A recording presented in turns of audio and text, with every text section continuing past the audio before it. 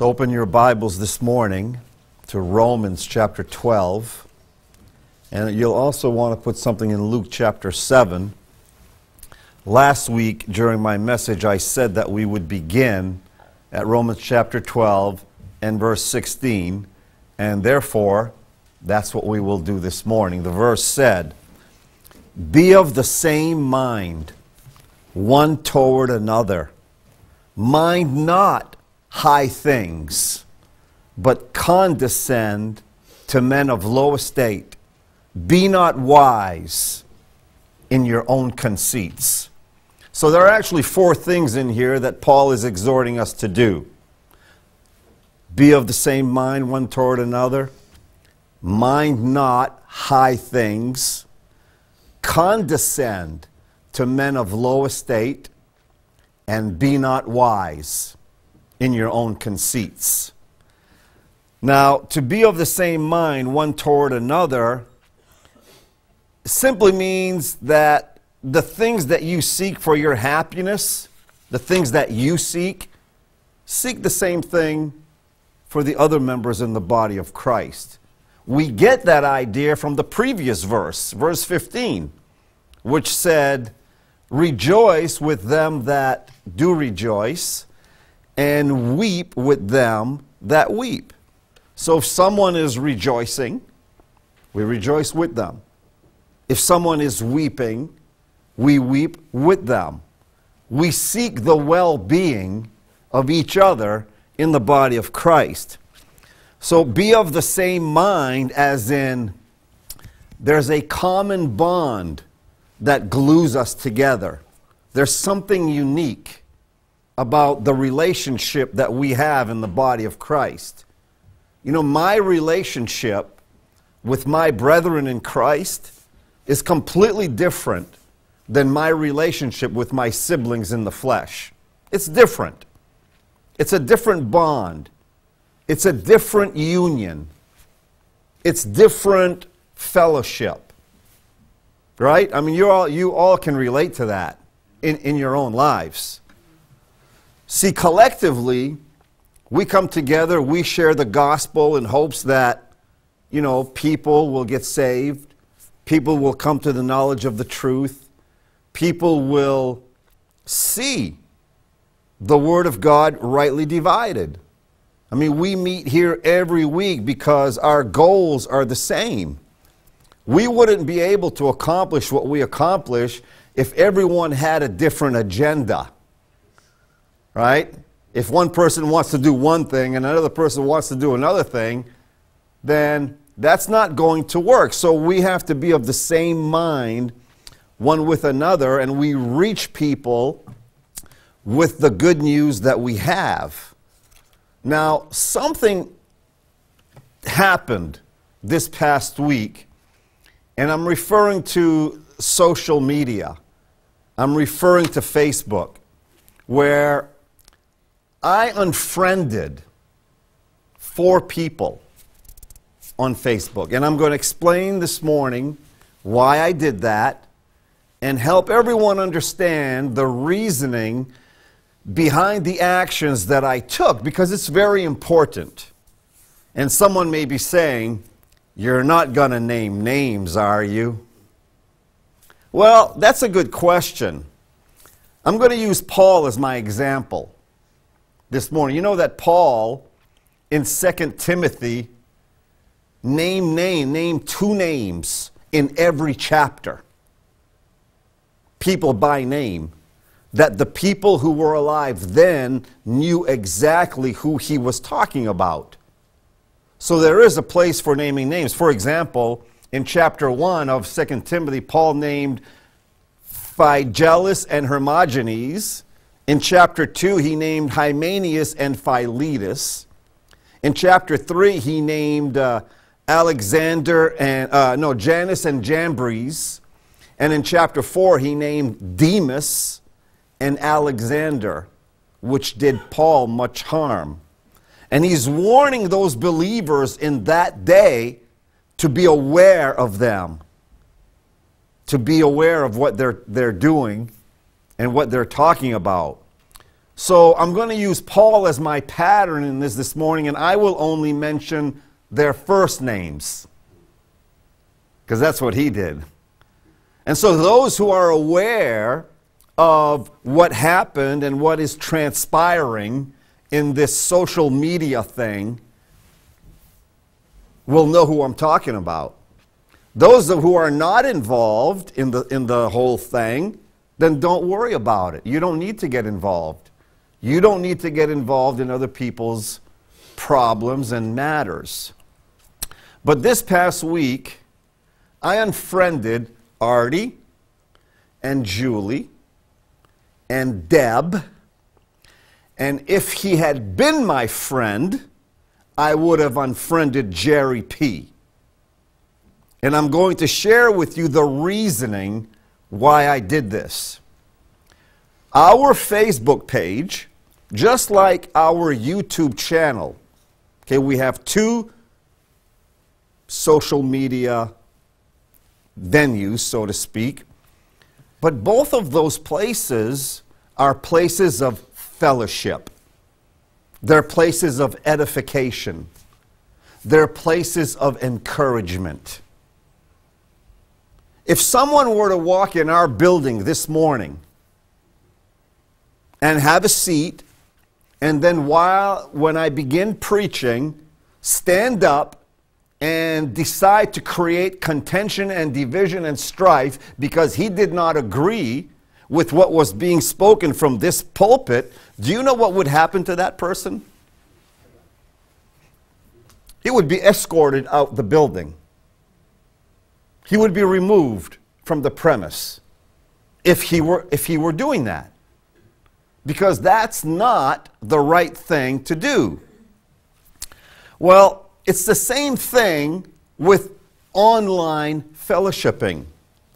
I don't go to YouTube channels where I know that I disagree with the content. I'm just not going to I'm just not going to go there.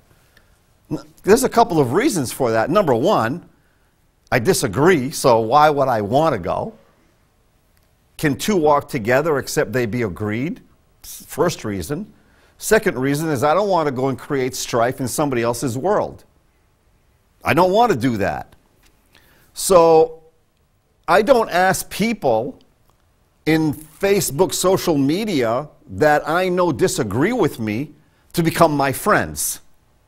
You know, I don't send them friend requests and say, hey, come on over. And for the life of me, I cannot understand why someone who doesn't agree with the dispensational truth that I hold to would want to become a friend with someone that they wholeheartedly disagree with. From what I can see, there's only one reason why a person would want to do that. They want to create strife and arguments and contention. There are people who thrive on things like that. They love to do that. So, what does the Bible say about this? What does the Bible say to do with that person? Well, Proverbs 22:10 says, "Cast out the scorner, and contention shall go out. Yea, strife and reproach shall cease." Do we have examples of this in Scripture? I'll share one with you that's probably not commonly thought to be an example of this, but in his own personal life, the Lord Jesus Christ cast out scorners at one time in order to get some work done. Now, you remember that Capernaum was the Lord's headquarters. That's where he ran his ministry from. Matter of fact, in Matthew chapter 9 and verse 1, it said that Capernaum was his own city. Three of the disciples came from Capernaum. That would be Peter, Andrew, and Matthew. All came from Capernaum. Capernaum was an important city. You'll remember in Luke chapter 7, verse 1, Now, when he had ended all his sayings in the audience of the people, he entered into Capernaum. And a certain centurion's servant, who was dear unto him, was sick and ready to die. And when he heard of Jesus, he sent unto him the elders of the Jews, beseeching him that he would come and heal his servant. And when they came to Jesus, they besought him instantly, saying that he was worthy for whom he should do this, for he loveth our nation and hath built us a synagogue. That man, that centurion, was now going to be blessed based on the Abrahamic covenant of Genesis chapter 12, verses 1 through 4, that promise that I will bless them that bless thee, and I will curse them that curse thee. That no longer is, is applicable for us today. Okay, you're not going to be blessed by blessing Israel, because today there is no difference between Jew and Gentile. But back then, this man was going to be blessed, and not very long after this, his servant was healed. That's the centurion who built the synagogue. That when you move over to Luke chapter 8, still in Capernaum, this time it's the ruler of the synagogue. And notice in Luke chapter 8, verse 41 and behold, there came a man named Jairus, and he was a ruler of the synagogue. And he fell down at Jesus' feet and besought him that he would come into his house, for he had one only daughter, about 12 years old, and she lay a dying. This man is desperate. He only has one daughter, and she's dying. And he comes to Christ, falls down at his feet, okay? And he beseeches him to come to my house to heal my daughter. This story is about Jairus and his daughter. You have to remember that. But notice the verse goes on, but as he went, Jesus, as he went, the people thronged him. And he couldn't move. So Jairus is going, hey, you ever been in a traffic jam? You're on your way and you're in a hurry. All of a sudden there's a traffic jam. right? And you can't go. That's Jairus. Hey, what are you people doing? Right? The bridge is up. You can't go. You're sitting there. That's Jairus at this moment. Think about that guy. His daughter is dying. This goes on to say, and a woman having an issue of blood 12 years, which had spent all her living upon physicians, just like today. Some things never change neither could be healed of any. Yeah, exactly. You know, you know, you know how I feel about this subject. You're under the care of a physician, you're just going to get sicker and sicker. I've never met a person under the care of a physician who's getting better, okay? I never have. But anyway, you know, the, the Bible confirms all this stuff, doesn't it? right? So, and then it says, and came behind him and touched the border of his garment, and immediately her issue of blood staunched. And Jesus said, Who touched me? When all denied, Peter and they that were with him said, Master, the multitude, the multitude throng thee and press thee, and sayest thou, Who touched me? And Jesus said, Somebody hath touched me for I perceive that virtue is gone out of me. And when the woman saw that she was not hid, she's been exposed, she came trembling, and falling down before him, she declared unto him before all the people for what cause she had touched him, and how she was healed immediately. And he said unto her, Daughter, be of good comfort, thy faith hath made thee whole, go in peace. This whole thing is transpiring while Jairus is like, Can we get to my house? Okay, and then the very thing that he fears, the very thing Jairus fears is this is taking too long. while he yet spake, Jesus, while he yet spake, there cometh one from the ruler of the synagogue's house, saying to him, Thy daughter is dead.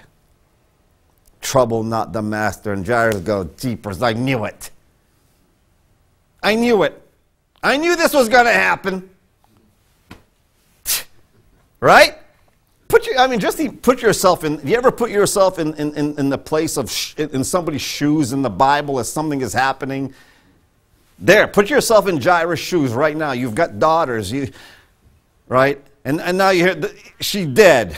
Like, ay, ay, ay, man. You people. He's probably started yelling at those people, right? But when Jesus heard it, he answered him, saying, Fear not, believe only, and she shall be made whole. And when he came into the house, he suffered no man to go in save Peter and James and John and the father and the mother of the maiden. And all wept and bewailed her. But he said, Weep not. She's not dead, but sleepeth. And they laughed him to scorn, knowing she was dead. He was surrounded by a bunch of scorners. And what did he do? And he put them all out. Every one of them. And he took her by the hand and called, saying, Maid, arise. And her spirit came again, and she arose straightway, and he commanded to give her meat. And her parents were astonished. But he charged them that they should tell no man what was done. Listen, once the scorners had been banished, the Lord Jesus Christ went to work he was able to do what he needed to do when they were absent, when they were out of the room. They were a distraction while they were there, the scorners. You see that? You see, scorners understand only one thing they understand authority that shuts them up and they understand authority that shuts them out. And that's what Jesus Christ did. And then once they've been silenced, something worthwhile can be done. Cast out the scorner, and strife will cease. Fellowship can be enjoyed. Edification can be profitable. Encouragement can follow. But first, you must cast out the scorner. Because here's a principle whereby the scorner will operate. It's found in Proverbs chapter 26, verse 21. As coals are to burning coals. Now, you remember those old uh, trains, the steam, steam engine? And that operated on coal. And when the coal got a little low, they had those big old shovels and they'd put coal on the, on the coal and that would reignite the coal, right? As coals are on coal and wood to fire. Everybody has sat in front of a fireplace and as the fire gets a little low, you put a more log on it, you put another log on it, and you reignite the fire. You keep it going. Well, as coals are to burning coals and wood to fire, so is a contentious man to kindle strife. A contentious man is quarrelsome. He loves to start a fight and he loves to keep it going. The thing that happened this week in social media was a man who hates dispensational truth who created a video about how wrong we all are. And then some people who I thought were dispensational jumped on board with him. And this man had put a post one of the posts that he said was if anybody wants to discuss this video, I've got all day. That's what he said. And I said, Well, I don't have all day to discuss what you're trying to do. And it happened to be like near my Facebook room and my Facebook page. So, boom, I booted him and I booted the three other people that are boom, boom, boom, boom, boom, directly involved. The scorner and the contentious man are related to each other. They thrive on each other. They encourage each other. You cast them both out, and peace will be the inevitable result. And there's another verse that encourages us to do the same thing. I'm talking about Romans chapter 16 and verse 17. Now, Paul said, I beseech you, brethren, mark them which cause divisions and offenses. Now, this word offenses, I hear a lot of preachers sometimes, and they say offense, offenses. An offense is when you have a basketball team, two basketball teams, one's on the defense, one's on the offense. That's offense. This is not offense, this is an offense. They cause divisions and offenses. They're offending. There's a big difference between those two, offense and offense. Right? This is an offense. Contrary to the doctrine which ye have learned. And what do you do about them? Avoid them. You avoid them. Well, you know how you avoid them on social media? You cast them out. You cast them out. No questions asked. No explanation necessary. And definitely no apologies. No. You know, I don't have to explain to people why I unfriend them. They know what they did, they know what they're doing. And what they were doing got them booted, which means no more access to create division in a room or on a page or on a wall where people want to fellowship together and edify each other and encourage each other. Now, listen, I am not talking about booting someone who is genuinely asking and genuinely seeking and asking the right questions. It is our responsibility to make all men see what is the fellowship of the mystery. You know, the fellowship of the mystery. I love the fellowship of the mystery. The fellowship of the mystery is look around you, look next to you, look behind you, look in front of you and you will see the fellowship of the mystery. On Facebook, right now, right this second, there are people, there's a whole list of people who have joined us this morning. There's a whole, I don't know how many there are, but there are many who have joined us this morning. Look at the names in that list, the people who have joined us, and you will see the fellowship of the mystery. We fellowship. We come together. Okay, we come to this place. We have people who join us by way of internet to fellowship around the mystery program that was revealed to the apostle to the Gentiles.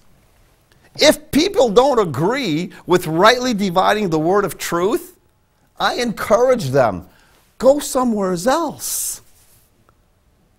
I mean, go, I mean, I don't go to another church on Sunday morning because I wouldn't agree with them. Well, why would you come here? Why would you come to somebody else's Facebook page if you know you don't agree with them? You know, I'm not interested in arguing with people because here's the thing I already know why you think what you think, and I know why you think the way you do. I was there. You know, I was saved in a Pentecostal church. I was there for eight years. I was with the Nazarene Church for a couple years. I was an independent fundamental Baptist preacher for quite a few years. I know exactly why you believe what you believe. I know exactly what it is you don't know. Now, you may not know what you don't know, but I absolutely know what you don't know. And I know, I know. I mean, I already know what you're going to say. I know what your pastor is teaching you. I know where he gets his denominationally charged, denominationally biased Bible teachings. I know where he gets them. So you can't come into my world and try to teach me that I'm wrong. I've already been where you are. And I left a long time ago. I know your reasoning. I know your arguments. I know your scriptural positions. I know why you hold them. I already know that. I don't need to sit here and argue with you about that. If you're not willing to learn from somebody who's already been in your midst and left, I'm sorry, I can't help you. But don't think you're going to drag me back into that mire of where you are now, because I already left that a long time ago. See, when I understood that God divided his Bible in time past, but now in ages to come, it set me free. When I understood that I have an apostle who speaks to me, who said, I am the apostle to the Gentiles, that set me free. See, I would never go to a Mormon page and argue with them. I would never go to a Jehovah's Witness page and argue with them. I would never go to a denominational page, whatever denomination it is, and argue with them and try to convince them that they're wrong. I would never do that. Isn't there enough turmoil and trouble and fighting and chaos in the world now? Do I need to go somewhere and create more trouble and turmoil and chaos and fighting and contention and strife? Do I need to go do that? Well, if I don't need to go do it, why does somebody feel they need to come in my world and do it? If you come into my world and try to do that in my world, I'm booting you. But if you come in and you're seriously, earnestly wanting to know why I believe what I believe, I will gladly teach you because my responsibility is to make all men see. So I created a Facebook page and a YouTube channel for the purpose of edifying people who are of like mind and see the Word of God in the same dispensational way that I do. And if you don't agree with that, man, don't come here. You know? Don't come here. Don't come to my channel. Don't come to my. You know, I get, you know, when I upload a video to YouTube, I have people sometimes who will leave comments that are very negative and they try to undo what I'm saying. I just, I remove it. Those things come to my phone. I see that thing right away. I read it. Oh, that's, good, that's nice. I just leave it alone. Some, if it's some guy who wants to be cantankerous, boop, remove it's gone. I'm not dealing with them. I'm not going to argue with them. I, I, have reached a place in my life, I don't argue with people about doctrinal things anymore. If you want to argue, you'll have to find somebody else because I'm not arguing with you. Okay? I have so much information on the internet now that people can learn the Word of God rightly dividing. I mean, our, our YouTube channel almost has a million views right now. I can tell you that thousands of people have come to understand the Word of God rightly divided because of our YouTube channel, because of the preaching that comes from this room, from this pulpit. I can tell you that. I get emails and I get phone calls every single day of my life. Every day now. I get a phone call from somebody, hey, I'm from here, I'm from there, I'm from here. I, I get called from Australia. From Australia. Hey, brother, I, you know, you know how they, that nice accent they have? I, I don't even think I could reproduce it. Yay, mate. Yeah, yeah, yay, mate. Hey, I found right division, mate. Right? No, it's true. And, and I mean, I get phone calls from everywhere. And, uh, you know, and then we talk a little bit and I encourage them to keep going and, you know. But man, I'll tell you right now, you people who don't agree, go find those little groups that you do agree with and speak that which is good to the use of edifying among yourselves, because that's the right thing for you to do, so that you can go with groups that you are of the same mind with. That's the right thing for you to do. Don't come trying to create strife and division. You know, I'll say it again we fellowship around the revelation of the mystery.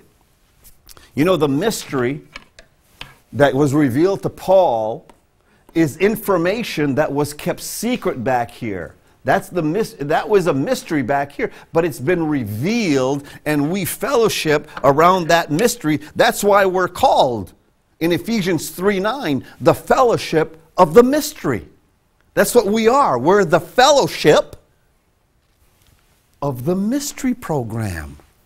You know, there are people who actually fellowship around information that at one time was not made known to the sons of men.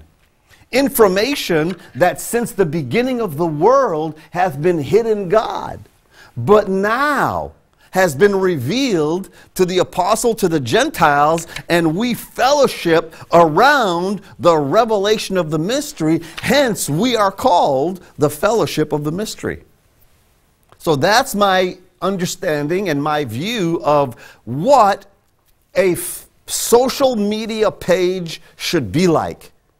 It should be for the edification of the body of Christ. That's what it should be, be like. And if people want to come in and interrupt the peace and the tranquility and the joy and the love that we have in Christ, that can't happen.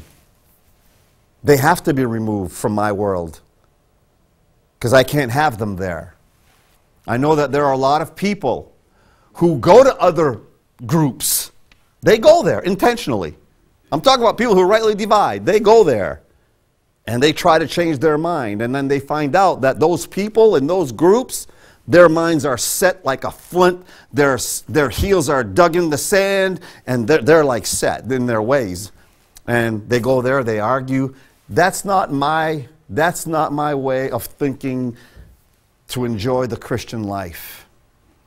I don't have time to argue with people anymore.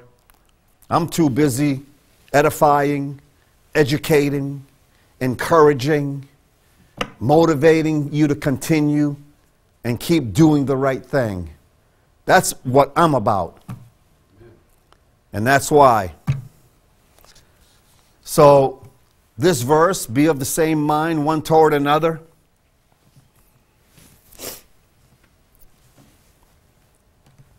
You know, last week we talked about the law of remote context.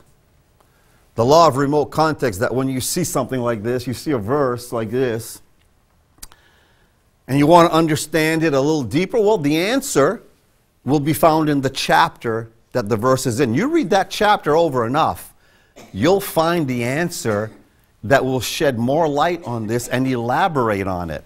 That's called the law of remote context. If it's not in that chapter, it will be in the book that that verse is found in. Okay? Like, for example, being of one mind, notice in Romans 15 5. Now, the God of patience and consolation grant you to be like minded one toward another according to Christ Jesus. Now, that's exactly like Romans 12 16. But notice that in order that ye may with one mind and one mouth glorify God, even the Father of our Lord Jesus Christ. Here's the reason, here's the purpose why you want to be of one mind and be like minded, that ye may glorify God. Arguing with people does not glorify God.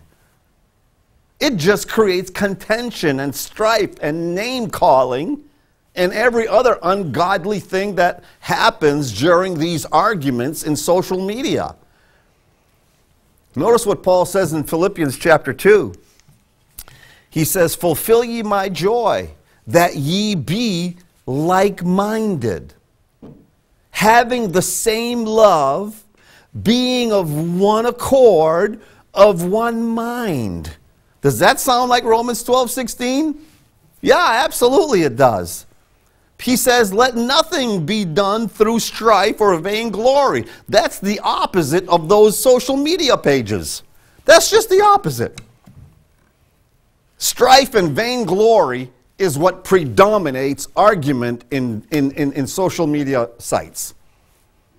And of course, I'm referring mostly to Facebook because I'm not on Instagram and Twitter and I'm not on any of those other things.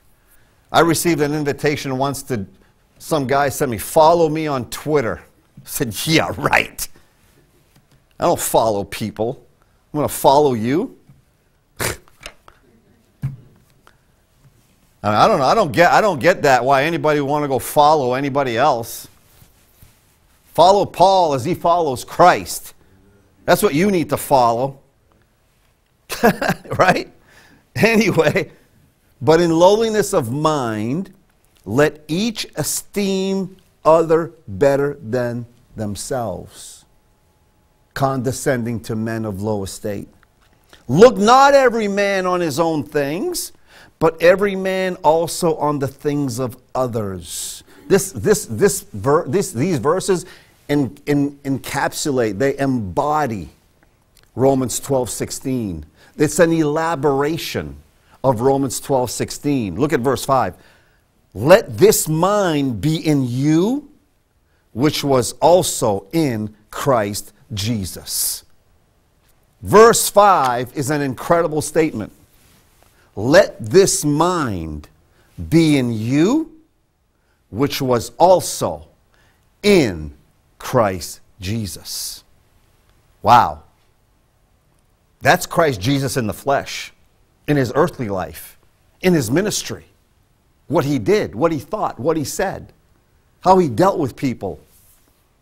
A good, a good demonstration of the mind of Jesus Christ is found in the high priestly prayer in John chapter 17. In the context of this, in the context of this, there's a prayer that Jesus Christ prayed where you see the mind of Christ. It was the prayer for his disciples and the requests he makes unto the Father are transdispensational. What he prays for his disciples in the Gospels is surely something that he wants for all those who claim Jesus Christ as their Lord and as their Savior. It's, it embodies what the apostle is talking about when he speaks of being of the same mind. Here's what I mean. In John 17, verse 8, for I have given unto them the words which thou gavest me, and they have received them. You know, Paul, Paul says, talks about this in uh, 2 Thessalonians 2.13, about receiving the word. And have surely, and have known surely that I came out from thee, and they have believed that thou didst send me. Now notice specifically what he prays. Verse 21. That they all may be one. As thou, Father, art in me, and I in thee, that they also may be one in us, that the world may believe that thou hast sent me. This is the heart attitude of verses in Philippians chapter 2 that we just read and Romans 12 16. Now, isn't it amazing that the Son of God prayed a prayer that wasn't answered. Everybody wants their prayers answered, right? Oh, you know, pray God's going to answer your prayers. This prayer concerning his disciples was not answered. You, you, you realize that, right? And we, members of the body of Christ, are supposed to have this mind in us, which was also in Christ Jesus. And this prayer certainly is not fulfilled in the body of Christ. And I can say, it never will be fulfilled in the body of Christ. The body of Christ is so divided today that, I mean, there are so many denominations. It's impossible for this prayer to be answered today. Now, let me repeat that I realize that Jesus Christ is not praying for the body of Christ here in John chapter 17. But you have to know that this is something that he would want for anybody that follows him in any dispensation throughout time. And that's why Paul said, Let this mind be in you, which was also in Christ Jesus. The only way that there could be 100% unity in the body of Christ is if everyone obeyed Paul's instructions. It's the only way. If everyone obeyed the apostle to the Gentiles, especially if everyone obeyed 2 Timothy 2:15, then there could be unity in the body of Christ, but that will never happen. At least not on this side of eternity. This prayer in John chapter 17 is very similar to this exhortation in, in Romans chapter 12. Be of the same mind one toward another. Then he goes on, mind not high things. Mind not high things, which would be seeking after lofty positions I remember not long after I was saved, I went to an event and we were in Fort Lauderdale, me and a couple of brothers in Christ. Some preacher was coming to town. We went to an auditorium. We were sitting there waiting for things to happen. And just as he was about ready to come on the podium to start preaching, I'll never forget the guy sitting in the front row, right in front of us. And one of the guys said, I should be up there. I'll never forget that. I never forgot that. And I remember when I got home thinking about what he had said. And I was sorry that I had not said, That's why you're not up there. Because you think you should be. He minded high things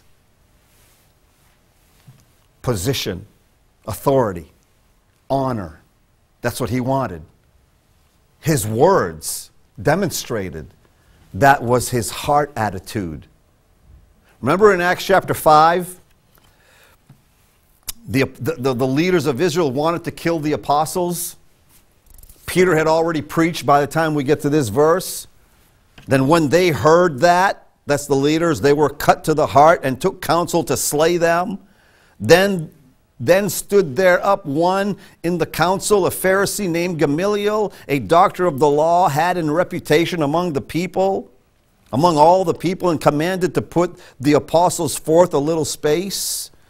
And said unto them, Ye men of Israel, take heed to yourselves what ye intend to do as touching these men. For before these days rose up Theudas, boasting himself to be somebody, to whom a number of men, about 400, joined themselves. Who was slain? Theudas was slain. And all, as many as obeyed him, were scattered and brought to nothing. So here's a man who thought he was somebody, at least in his own mind. And he ended up dead and the rest ended up scattered. And then the next verse, verse 37, after this, after this man rose up Judas of Galilee in the days of the taxing and drew away much people after him. He also perished, and all, even as many as obeyed him, were dispersed. Taking a position of authority by force is a dangerous thing wanting a position of authority, desiring a position of authority. is a dangerous thing. You know, I stand behind this pulpit every week, but it's not because I want to. This assembly began when I met Mark Johnson. Through Mark, I met Don and Pauline. Through Don and Pauline, I met Rita. Through Rita, I met those three people right there Freddie, Doris, and Kenny. After I shared the gospel with them, they wanted to have Bible studies. We started having Bible studies. More people came. One thing led to another. But I never desired this position. I never desired it.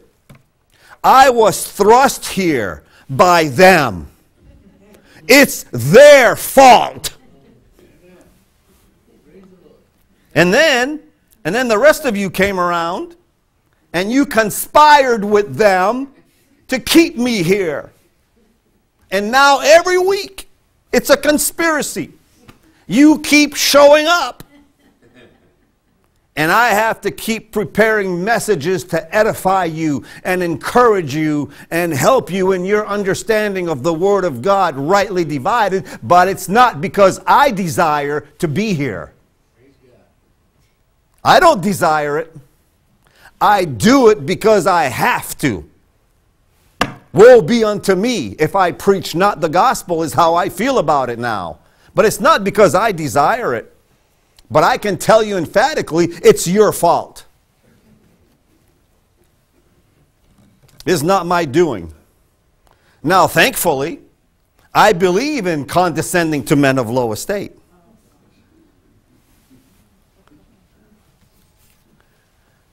But you know what? That's why I stick around with you folks. Because in the process of everything that's going on here, Paul goes on to say in verse 16, Be not wise in your own conceits. Now, conceit is a favorable or self flattering opinion of oneself, a lofty or vain conception of one's own person or accomplishments. People get proud of what they do and of what they have and of their accomplishments. And when, when you meet someone who you perceive to be of that lofty, self thinking attitude, you do say to yourself, boy, that person is conceited. You say that, right? We say that. Well, in light of the way this ministry began, as I just explained, it's very easy for me to not get conceited at all about what's going on here. I have nothing more than any other person sitting in this assembly right now. My attitude, and you've heard me say this many times in the past years, we be brethren. We be brethren. Okay? That's, that's how I've always looked at it. I mean, after our meetings on Sundays, 99.9% of the time, we go to lunch. And as many of the people who are here, you're all, everybody's invited to go. And then we just fellowship like normal brother and sister, like we really are in Christ. My position here has nothing to do with my life after I walk out of this pulpit. Then we're just, we're just brother, you know that. We're just brothers and sisters, right? I mean, that's how, I, that's how I've always looked at it. And I'm also glad that no one here wants to be high minded or wise in their own conceits and then take authority over business over which they have no business taking authority over. I'm glad that everybody here is of the same mind as I am. We are of the same mind in that way, right? We really are. This is a unique assembly.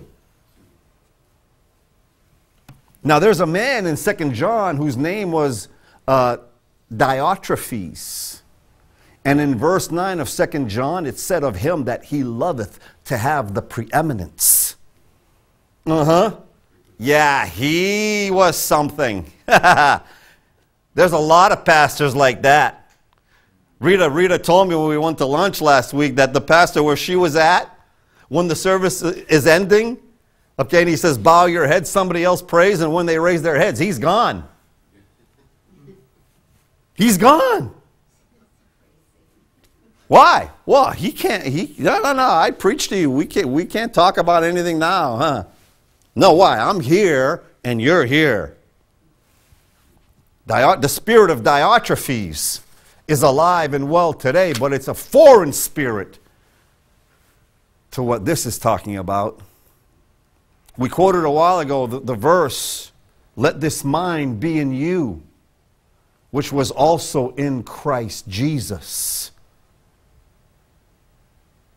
That verse is an unbelievable. I want to look at it a little more closely. Now, he spoke to those who followed him. We know Jesus Christ was a minister of the circumcision, but the instructions, the, the example of some of the things Christ did are extremely applicable. We don't confuse Israel's doctrine while they're under the law with the practical instructions for daily living that are transdispensational truth.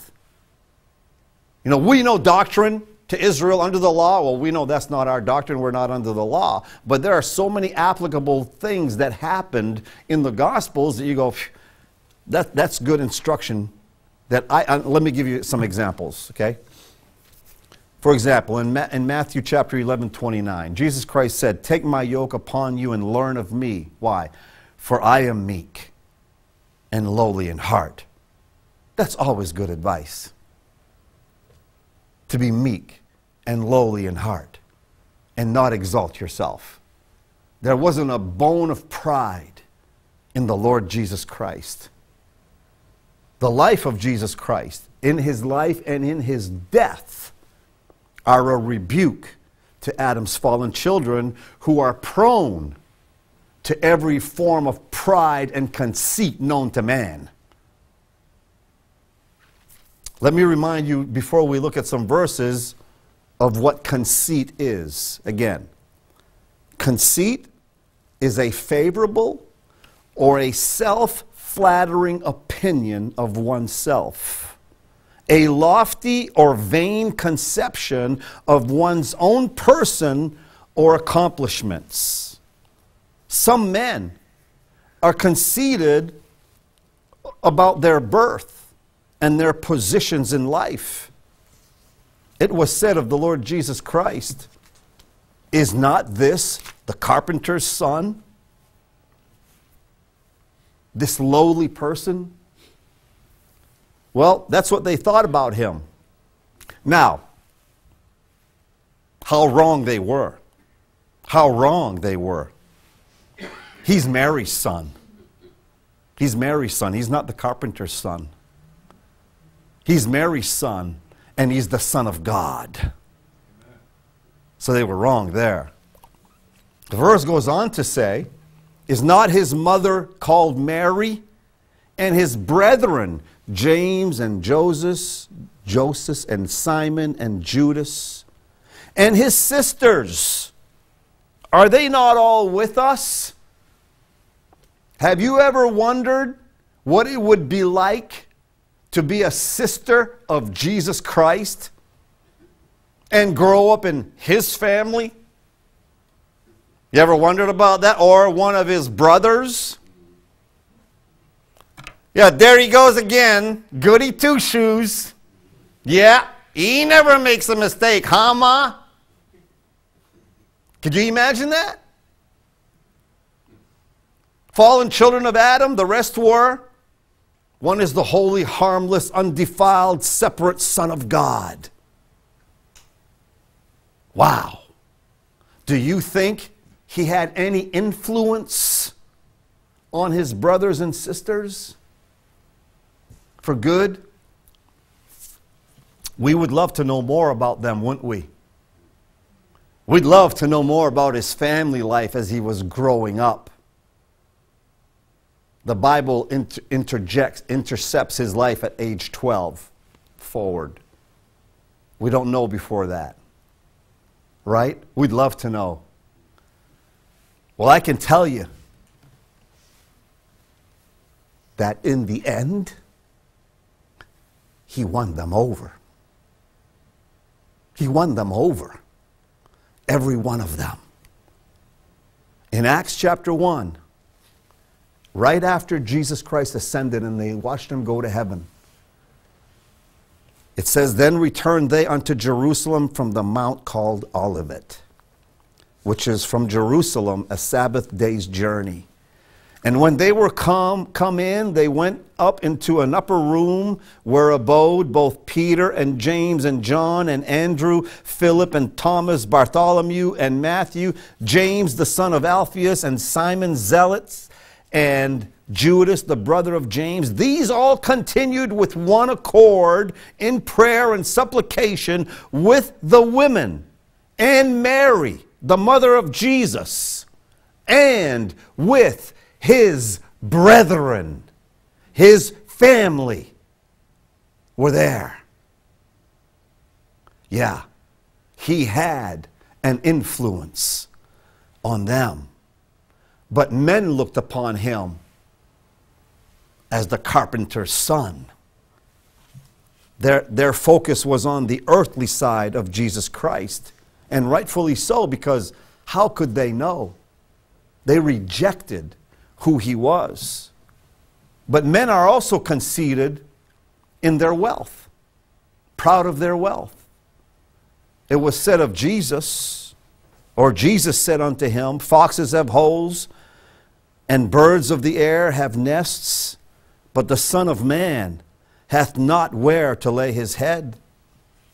Men are also conceited about respectability John 1:46 and Nathanael said unto him, Can there any good thing come out of Nazareth? As they were telling him about Jesus. Philip saith unto him, Come and see. What about conceit of personal appearance? You know, some, some people who are born with great looks, some of them have a lot of pride about that right? Some of them have a lot of conceit about that. It was said of Jesus Christ, For he shall grow up before him as a tender plant, and as a root out of dry ground. He hath no form nor comeliness. And when we shall see him, there is no beauty that we shall desire him, that we should desire him. Surely men have conceit of associations and people who are their friends. Hey, this is my friend. The Son of Man is come eating and drinking, and ye say, Behold, a gluttonous man and a wine-bibber, a friend of publicans and sinners. Are not men conceited about their education and their degrees? It was said of Christ, and the Jews marveled, saying, How knoweth this man letters? having never learned? What about conceit of superiority? For whether is greater, he that sitteth at meat or he that serveth? Is it is not he that sitteth at meat? But I am among you as he that serveth. He wasn't concerned about superiority. What about conceit of success or conceit of a position that a person holds? It said of Jesus Christ, He is despised and rejected, a man of sorrows. What about conceit of ability? I don't need your help. I can do this myself. That's inbred in Adam's fallen children, isn't it? Jesus Christ said, I seek not mine own will, but the will of the Father which hath sent me. What about conceit of intellectualism? People are so smart right? Then said Jesus unto them, But as my Father hath taught me, I speak these things. See, what, what does the believer do? We shun the propensities of fallen Adam that we gravitate towards these things of conceit. We're prone to self exaltation, self worship, self glorying. What do we do instead? Be not wise in your own conceits. This one phrase is found seven times in your King James Bible. That's number one. Second place is found in Romans 11 25. For I would not, brethren, that ye should be ignorant of this mystery, lest ye should be wise in your own conceits. That blindness in part has happened to Israel until the fullness of the Gentiles be come in. Be not wise in thine own eyes. Fear the Lord and depart from evil. Be not wise in thine own eyes, is the, is the being wise in your own conceits. It embodies the concept of conceit. Answer a fool according to his folly, lest he be wise in his own conceits, or his own conceit. Seest thou a man wise in his own conceit? There is more hope of a fool than of him. The sluggard is wiser in his own conceit than seven men that can render a reason. You know, there are people who understand why they believe what they believe. And then there's this sluggard who doesn't study, who comes along, says, I don't agree with that, but. And yet a man can render the reason why he believes what he believes. But the sluggard will be wiser in his own conceit. The rich man is wise in his own conceit. The poor that hath understanding searcheth him out. That means that, you know, I used to share, I used to share, I'm, I'm done by the way. I used to share that, you know, a believer can look at an unsafe person and know what makes an unsafe person tick. But an unsafe person cannot look at you and understand what makes you tick and make you the way you are. You know, it's like if you stand in a dark room and you hold a flashlight, you can see the person, but he can't see you. You can search him out, but he cannot search you out. We're guilty of many of these things.